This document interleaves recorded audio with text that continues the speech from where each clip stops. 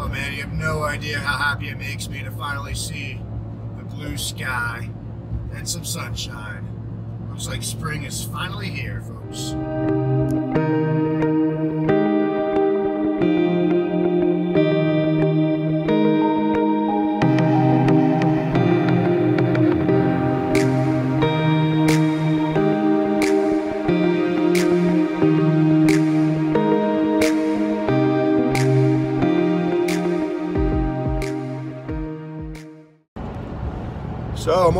Hershey right now to get my hand checked out. I uh, had an injury a few days ago. You see a little bit on the palm of my hand between my index finger and my middle finger. Unfortunately, I put a drill bit through it, so that sucked. So I have my final uh, follow-up appointment on that, and hopefully I'll get the all clear and I won't need to go back anymore.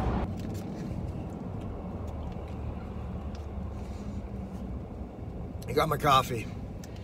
I'm so happy to actually have coffee. This this is uh, helping to wake me up. Bought it on my way to my appointment, and uh, got out my morning coffee. Actually, a lady next to me in the car, she's drinking her morning coffee. So everybody loves their morning coffee. Mine happens to be from Dunkin' Donuts today, and not from my house.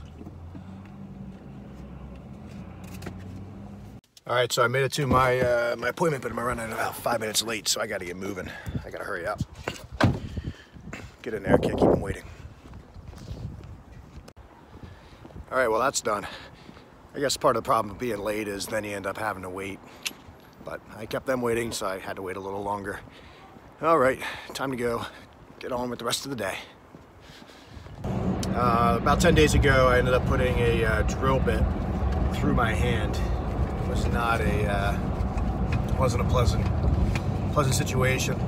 It uh, didn't quite go the whole way through, but uh, it, it, went pretty far in. You see it right there uh, between my middle finger and index finger. It's healing up nice. I pretty much got the uh, the bill of health. I'm in good shape and almost got released. But just to give you all an idea of how how big this drill bit was, this is it right here. You know, it's it's a big, thick 3 8 inch drill bit. Uh, this is the one that I managed to stick at least three quarters of the way through my hand. So, I'm healing up okay, and I think I'll be in good shape shortly. Just the only thing to worry about now is continuing to keep an eye on it for possible infection and I guess that's about it, but apparently it can be a pretty, uh, pretty difficult spot uh, in your hand uh, to have an injury. So keep an eye on it. Sheesh. So I had a couple of moments of uh, self-consciousness related to putting videos out on YouTube, talking about uh, what it is I'm working on, um, just following me around, doing various activities.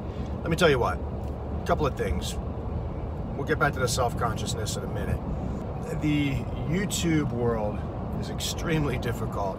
I mean, just to create video content every day on every single thing and trying to tell a story yet being productive, it's difficult.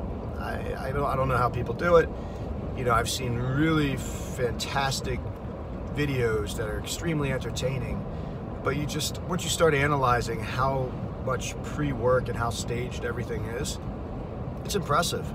You know, they, it's, it's insane when you think about the camera angles and the fact that, you know, they make it look like they're going into something or walking into a store for the first time, but they've been in there, they've been in there, set up their equipment, and then they show up and everything's, you know, it's, it's incredible. I mean, I'm not, I'm not knocking the production value of a good, fantastically filmed YouTube video I felt like I had to live up to that and try to do the same production value and production quality. I, you know, I can't do that unless I was just making videos and that's all I was doing.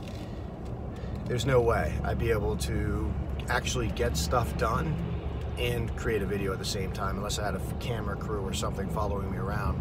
And let's face it, I mean, my life's not that interesting yet. I've got four subscribers.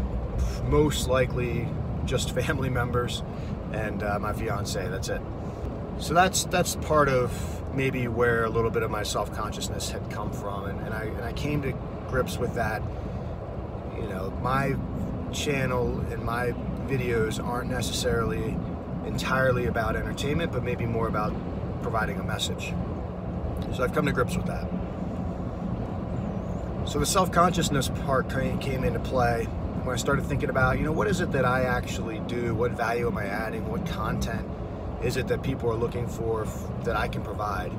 And uh, I started thinking, I have nothing, you know, and maybe there's a lot of uh, a lot of folks out there that feel the same way. That maybe your life is boring and you have no no value to add, no content to really provide and uh, put out there for other for other people's benefit.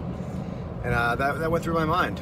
I, I, literally thought like, you know, I'm, I'm not doing anything special. I, I'm not anything, you know, superhuman. I don't have, you know, crazy travel stories. I'm not super popular. I'm not a celebrity or anything like that.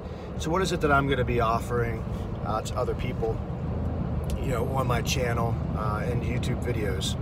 So that, that literally went through my mind and, and I felt a little bit self-conscious, like, you know, why am I even doing this? You know, what's the point? So as I started to think about that more, and, and, I, and I, maybe it was because of this appointment I went to this morning at the uh, hand specialist, I start to look around and think, okay, well, I, I don't feel like I'm anything special, but I look at some of the other things that people have going on in their lives, like, you know, this is a a specialist I had gone to. They also do bone treatment and things as well. And just looking at, you know, myself, a very healthy, capable person, you know, with a, well, I say it's a superficial wound, but it's it could be serious if it wasn't treated treated properly. So it, it, I don't want to minimize it. I think that's what I end up doing. I have a tendency to minimize things a little bit and make it seem as though it's not a big deal or not that important. So we'll get back to that. But I start looking at other people and I start looking at their their struggles. I mean, every day they wake up, they have obstacles, physical obstacles that they have to overcome. And I've been blessed and I have the fortunate opportunity to not have to deal with those things. Um, and it's it's makes me humbles me to think here I am feeling like I've got an uninteresting life you know, I've got my own struggles, and it's you know, it's it's easy to sort of forget and end up in a, in a tunnel vision, thinking about just yourself and about the things that you have going on. But sometimes just looking up and looking at the macro view of what everybody around you might be dealing with, you know, that, that you, you know, these are situations that I was able to observe, you know, visually and see what was going on. But there are things that people are dealing with emotionally you know, spiritually, whatever, that, that you can't see, that you don't know who you're interacting with, and you don't know what they may have going on in their lives. So it's just, it just makes me thankful for the fact that I feel like I have a pretty good head on my shoulders with things. As far as physical capabilities, I'm in good shape despite uh, the hand injury, which sent me back a couple of weeks. It didn't set me back a lifetime, so I'm fortunate about that. Uh, we take for granted what we for everything. Like there's so much we have and we take it for granted. We don't even think about it. So anyway, today that was humbling. It was great to to be able to have that opportunity uh, to to be put in a situation where that enlightened me again a little bit and it inspired me to think, okay, you know, even my bad day isn't as bad of a day as some other people are definitely having. So back to the subconscious aspect of things, I felt like I, I didn't really do enough. I don't have enough to really talk about, but again, I kind of minimalize my feelings about certain things, and, I, have come to realization of that. Of you know, I, I, I tend to not give myself credit where credit is due, uh, and I and I tend to even whenever I'm in a situation where it might have an adverse reaction, I, I kind of bury it. I don't I don't really address it necessarily. So what I've discovered as I started to think about it a little bit more, I'm like, you know, I, I, do things that I don't think anybody else really understands and really sees that I do. You know, my hustle is seven days strong hustle. You know, I am on the go seven days a week, you know, 12 hours a day, at least 12, 12 to 16 hours a day. I mean, getting things done. I think some people see maybe the side of me, they see the fun side of me because whenever I'm not hustling and not working and I take an hour, two hours, or whatever, in the evening to maybe decompress a little bit, you know, they, they see the, you know, they, they don't see the they don't see the struggle, they don't see the daily hustle that I have going on. So I think that I, I, I don't associate myself with hustling and, and, and being and making it feel like it's a sacrifice because I don't feel like it's a sacrifice. It's just who I am. Uh, I, I, I guess I've been conditioned to have work ethic, and for me, if I'm not doing something, I'm not being productive, then I feel like I'm not happy. I'm not. It's I don't I can't think of anything else I'd rather be doing than trying to build something up, build someone up, do something uh, that's going to increase value socially, um, economically, whatever. So I don't really think about the hustle and what I, how hard I work to really think about how that's adding value um, in, in people's lives. So that comes back to that kind of perspective aspect where, you know, my perspective is the hustling and work ethic is just a way of life.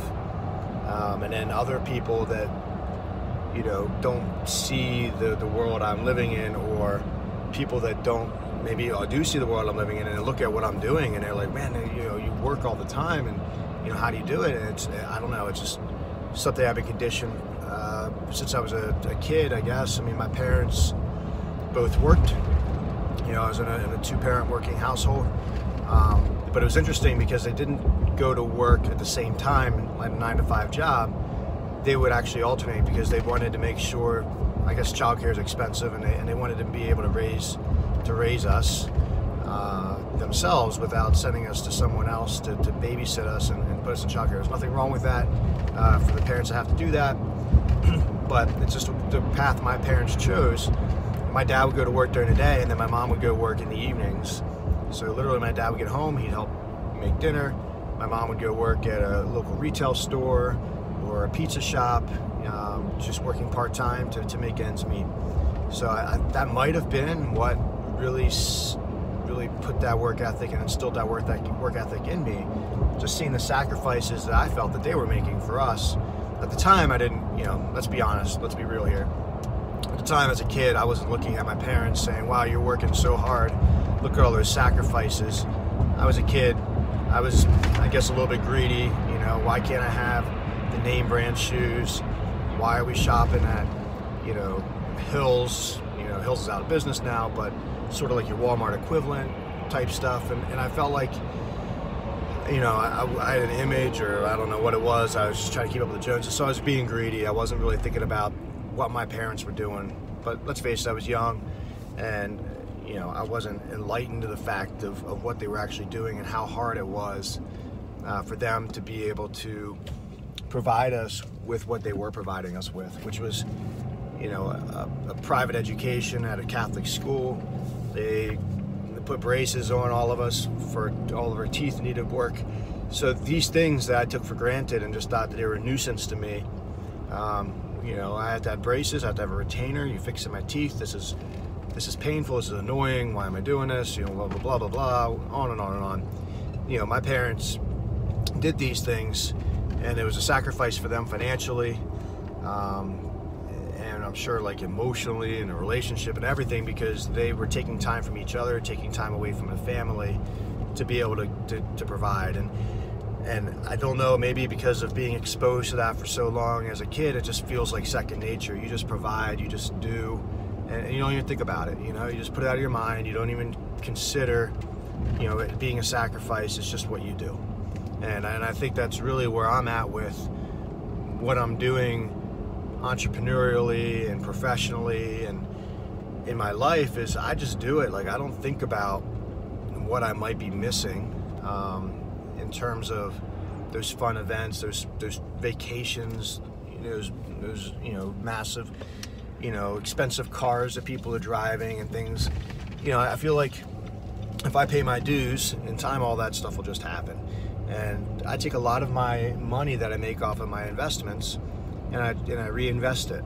So every, you know, I'm, I'm gaining, I feel like I'm slowly gaining momentum where I just keep rolling over, you know, the revenue, the profits uh, from, from continuing operations of, of a couple of businesses I have. I mean, they're not huge. I'm not talking millions of dollars here. I'm not, I'm not a, I'm not that successful yet, but I just know that, you know, over time, you know, you got to put time into it. I'm not going to be an overnight success, but working hard, being um, consistent is really going to help set me up for, set my family up, set everybody up for, for a lifetime of, of opportunity.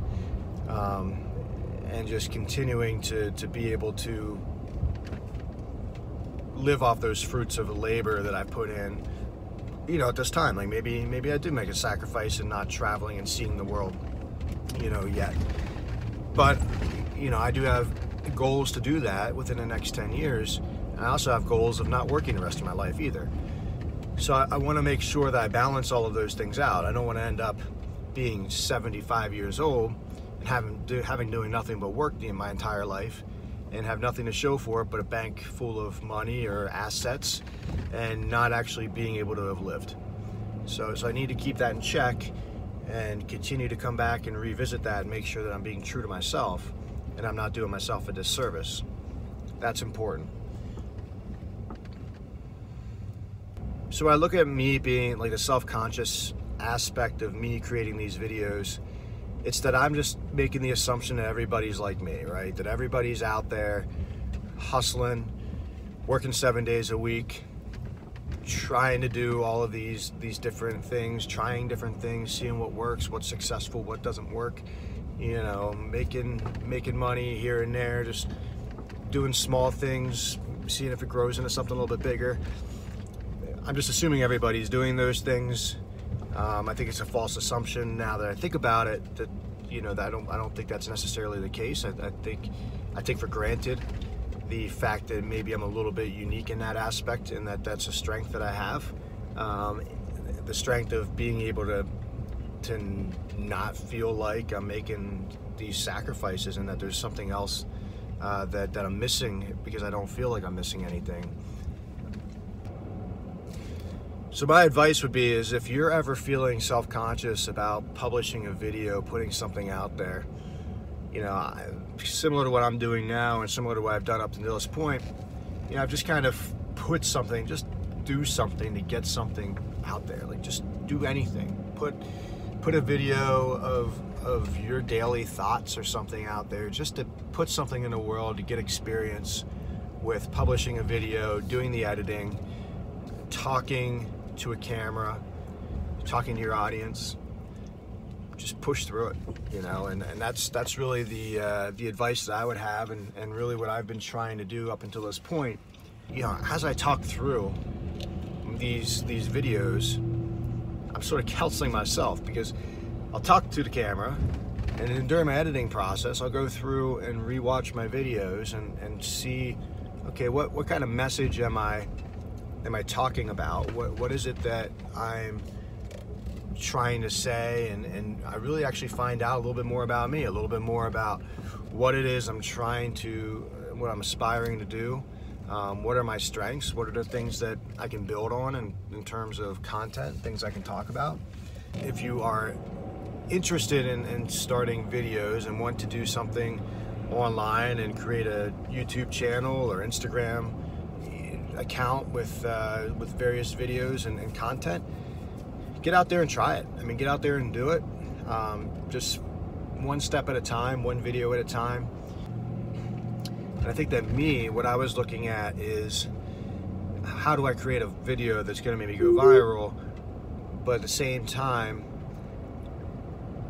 make it that it's viral for the right reasons and not just viral for the sake of oh man, my cat did something funny, or I did something silly, and, and, and that's what I kind of base everything on because that's not what my channel's about. So my channel's about providing valuable content and being able to really help people come together and create a culture of of work ethic and doing and productivity and, and really striving to be what you want to be. Take take take those chains of self-consciousness um, and not being valuable enough off and begin to express yourself. I mean it's kind of shitty to say but it's true. So how many people really care about what what it is that you do or, or um, you know that you embarrassed yourself you know? And, and how many people remember that either?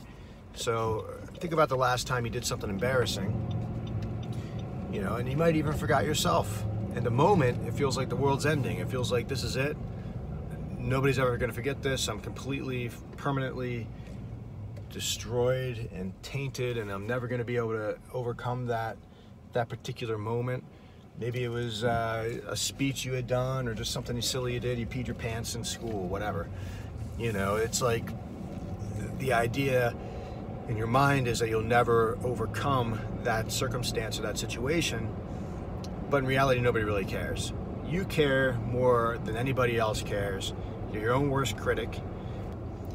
So when you think about those moments of embarrassment or am i doing the right thing if you from a from a moral and conscious perspective can feel like you're doing the right thing and it's what you want to do and it's not hurting other people then it's then it's the right then it's right. That's the right thing to do. It's it's fulfilling whatever your objective and whatever your goal is and not worrying about how everybody else is going to perceive it and what it's what it looks like.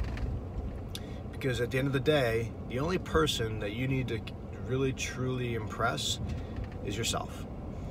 Everybody else, you're gonna come and go. They're gonna see you, then they're gonna forget you. They're gonna laugh at you, and then they're gonna go laugh at somebody else, and you're you're long gone. You know, so don't worry about don't worry about uh, what other people are going to say or think about you for something that you truly feel as though is an inspiration and something that you want to uh, achieve and something that you want to do. So this video has really taken a, a, a pretty weird turn, I guess, right? So I'm all over the place, uh, admittingly. I didn't script this out. I had just given this some thought as I was sitting at the doctor's appointment, waiting to, to go back into the room and to be seen by the, uh, the hand specialist but really uh, what I had come to appreciate and understand is that you know I have talents I have opportunities I do have content that I can share. I am different than everybody else. I have value. And you know I, I have a tendency of, of like I said before pushing that value down and not really considering what it's really truly worth and minimalizing myself. I need to lift up and realize that I am grateful and humble for all the things that I have and to, and to not feel like I'm not capable because I certainly am capable and I need to start giving my credit where credit is due.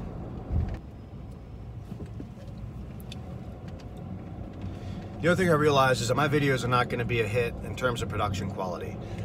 I'm going to try to have the best, you know, as good of camera equipment and things that I can have and audio in, in, in the different circumstances I'm in. But it's not going to be a Hollywood production every time I put a video out because it's a lot of work and, and what I'm doing is not creating just video content. It's literally living a life and being productive in building something else, not necessarily building creative videos. So I realized, you know, some of the channels that I subscribe to and things that I look at, you know, the production quality is cool. It's it's it's enticing. It, it really grips me. But I just don't have the the resources yet to have the camera crews and the editors and the people on the team to, to create that. So again, this is a this is a journey for me that I'm starting uh, to just starting to explain and to bring folks along on. Um, because I'm interested to, to, see how I can help other people with their journeys and, and help to uh, create inspiration and motivation, and help people identify what their strengths are and how they can utilize those to, to become successful in uh, in any way that you know they're, they're looking to, to achieve the best that they can in their life. So I realize my, my videos are going to be eh, a little bit one-dimensional, right? So this entire video, for the most part, has been me talking into a camera while I'm driving around. So you're driving around with Bryan Donovan. I'm giving you some random thoughts that are going through my mind just to get some content out there, just to start to, to create a little bit of a dialogue. And, you know, maybe I'll get a few people to watch this. If I do, great. If I don't, that's fine. It's there. And maybe at some point in the future, somebody will dig it up um, and look at this video. Maybe, maybe you're looking at this video now and it's a video that I had recorded five years ago, right? So maybe I'm a completely different person at this point. five years, you know, five years from now, the, the person that you know now may not be the person that, that I am today, filming this video. So just think about that. Put videos out there, create content, um, just be yourself. Don't be afraid of what other people think. Try to throw self-consciousness out the window. It's a little weird talking to a camera by yourself for the first time because you're really talking to yourself. So listen, I'm just about home. I want to wrap this up. I just want to encourage you to take a look at yourself, be thankful for what you have, be humble, be grateful, start there. Then start to really think about what it is that you want to be. Don't worry about what anybody else thinks you should be or what you think people think you should be. Just go ahead and, and really think about it and be true to yourself and, and really figure out what it is that you want to be, go for it. Figure out a plan, write it down, um, talk about it, create a video. It's amazing when I go back and look at these videos how much I feel like I've learned about myself as I've recorded myself just brainstorming thoughts. It's literally like being in my own head and hearing hearing myself truly tell me what I should be doing. And, it's it's very it's a very interesting dynamic when you're truly just having a conversation with yourself and then when you play it back maybe an hour or two hours later just to see where you know what was going through your head how did how did that come about and, and really analyzing that a little bit to figure out huh you know, what, what is it that, that I'm offering? What is it that I have, you know, context wise? So get a camera out, talk to it, talk to yourself, figure out what you want to do. The most important thing though, to remember out of this entire video is to get out there, be productive, do some hustling, get up off your butt, go do something, do anything. Just do something that is out of the ordinary, do something that is going to bring value in your life or, or lives of other people around you. Go volunteer, go pick up litter off the side of the road. Just do something that just start somewhere. it is amazing, you know, how just doing that one thing will just inspire you and, and get you motivated to move on to the next thing and the next thing and the next thing. So you got to start somewhere. Start small, do something that's seemingly just insignificant, but at the end of the day, it's not. It's really going to be the start of the rest of your life and the start to get that momentum moving in the right direction for positivity and productivity. So get out there, start your hustle, have a wonderful day, and I'll see you in the next video.